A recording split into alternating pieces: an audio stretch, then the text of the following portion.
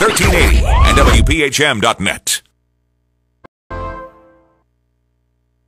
News, talk, and sports for Croswell. Our This is AB. 1380 WPHM Blue Water News.